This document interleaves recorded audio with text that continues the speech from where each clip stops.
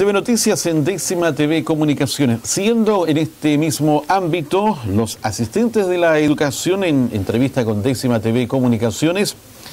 han señalado que se ven obligados a manifestarse públicamente ya que no ha habido ningún avance, ya que no han tenido ninguna respuesta por parte de la alcaldesa Soledad Moreno. Los manifestantes señalaron que no negociarán con el secretario general de la Corporación de Ancú, ya que al haber voluntad de avanzar prefieren seguir negociando con la presidenta de la Corporación, Soledad Moreno, de quien hasta ahora tampoco han oído una opinión al respecto. Algunos entrevistados manifestaron una dura crítica contra el actuar de Luis Ampuero Chihuay.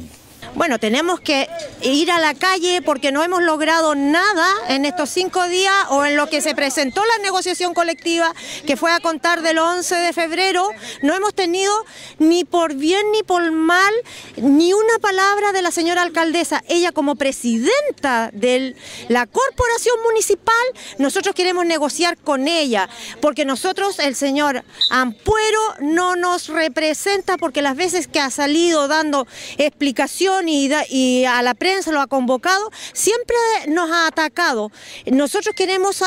queremos zanjar este impasse en que estamos, pero lo queremos hacer con la señora presidenta, no con el señor Ampuero porque tenemos que, hacer las cosas con altura de mira. Él cuando estuvo como presidente del colegio de profesores, chuta que le gustaba salir a marchar y, y hacer todo el escándalo de habido por haber en la comunidad. Y ahora que él está en la vereda del frente, le gusta que las cosas se hagan distinto. No, pues señora Ampuero, no se olvide de dónde vino. Yo en mi caso tengo 26 años de servicio y tengo un sueldo imponible de 284 mil pesos. Si yo no tuviera parada aquí en este rato que tengo la zona, tengo perfeccionamiento y otros, y otros ítems dentro de mi sueldo, con 284 mil pesos tengo dos hijos en la universidad. En el año pasado tuve un problema en el banco que me remataron mi casa por darle la educación y no, y no me pueden dar mil pesos. Ellos ya llenan, van a trabajar cuatro años, para, están convencidos que la corporación es la casa de la tía rica.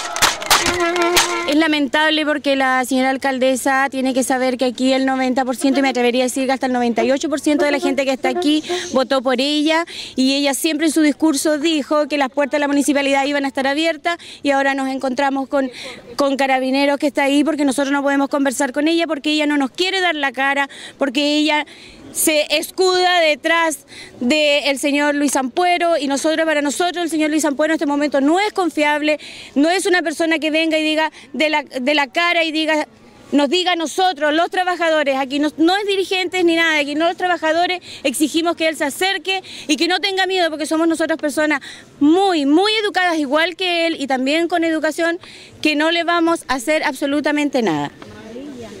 Con respecto, digamos, también se han sumado los apoderados. ¿Qué podemos ver con esta situación? Mira, nosotros como apoderados no podemos entender que esta situación se haya dilatado tanto tiempo. Es tan fácil, los, los asistentes, los funcionarios hacen una tremenda labor que es muy importante para que nosotros podamos salir a trabajar, el que ellos estén en la sala cuidando a nuestros hijos, son los primeros entre los niños y el director del colegio, están los asistentes, son los funcionarios más importantes y ganan una miseria de plata. No podemos entender eso, no podemos entender que se le esté dando un trato indigno y como apoderados queremos apoyar y queremos convocar a todos los apoderados de ANCUD que ayudemos en esta marcha, que somos importantes, los funcionarios son importantes y tenemos que movernos para poder ser con un trato digno todos. Ya está bueno que nos pisoteen en todo, en todas partes nos pisotean, no puede ser. No puede ser. Bueno, yo quiero primero que todo agradecer a los apoderados porque no es solamente un apoyo porque se vino a marchar acá, sino que hubo una reunión informativa en la cual nosotros les pudimos demostrar de que los puntos que nosotros estamos solicitando, en primera instancia nos está solicitando el 100% del proyecto de negociación colectiva, que, por, que, se ha, que se ha mal usado el tema de los 200 millones de pesos, porque acá hay que reconocer de que un petitorio siempre va a ser con el tejo pasado. Y acá nosotros estamos renunciando yo creo que el 75% de ese proyecto y solamente queremos mantener nuestro beneficio y agregar un 25% de lo que estamos demandando. Bueno, y hoy día que los apoderados estén con nosotros, eh, yo creo que es lo más importante, yo creo que el apoyo más importante que un diputado, más importante que un senador, es,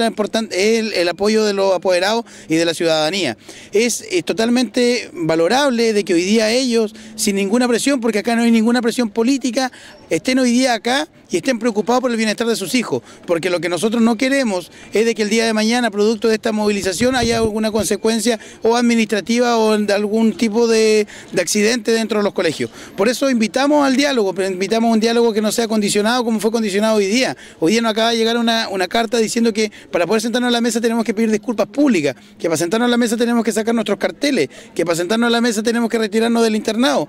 que para sentarnos a la mesa prácticamente tenemos que dejar de hacer todas las medidas de presión. Yo quiero explicarle a los señores que están a cargo de esta situación de que hoy día eh, este sindicato está en una huelga legal y si no se han dado cuenta, todos los sindicatos se manifiestan, gritan, eh, eh, dan declaraciones públicas, porque es el único camino que tenemos, es el camino de la autotutela sindical. Y lo otro que es importante decir, de que me extraña profundamente que hoy día el señor Ampuero pida de que no se hayan insultos, pida de que no hayan gritos, cuando yo recuerdo muy bien que cuando él fue, fue sacado de su cargo, trajo profesores de otros lados y vino hacia acá y insultaron al ex secretario general, incluso lo patearon, lo escupieron y hoy día él nos pide que nosotros tengamos una conducta intachable. Quizás me van a tildar de político por este comentario, pero es la realidad y nosotros en ese minuto no dijimos nada porque entendemos que los dirigentes tienen que usar todos los recursos que tienen a su alcance para poder defenderse. Bueno, yo quiero simplemente hacer un hincapié nuevamente a la presidenta de la corporación. Creo que nosotros como asistente de educación nunca le hemos condicionado ni le hemos faltado el respeto a ella como presidenta, al contrario,